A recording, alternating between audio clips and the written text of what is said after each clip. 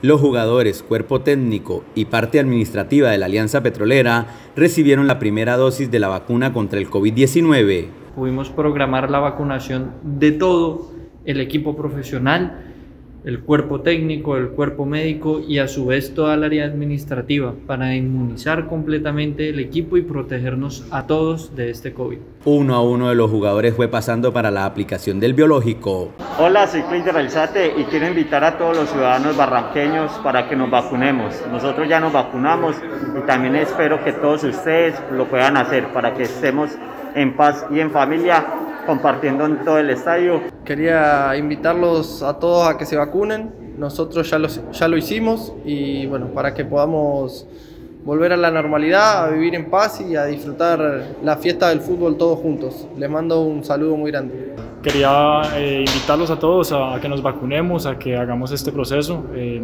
nosotros ya lo hicimos y es labor de todos hacerlo para, para que podamos volver a los estadios, volver a la, a la nueva normalidad, por decirlo así, y que todo, que todo mejore.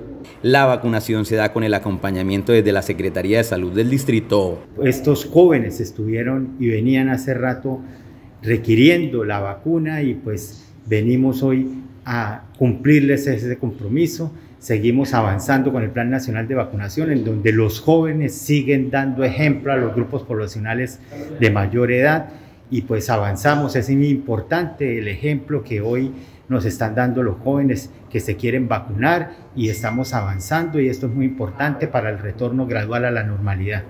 Esperan ahora de nuevo los jugadores, cuerpo técnico y parte administrativa la fecha para la segunda dosis de los biológicos, para de esta manera estar más firmes y seguros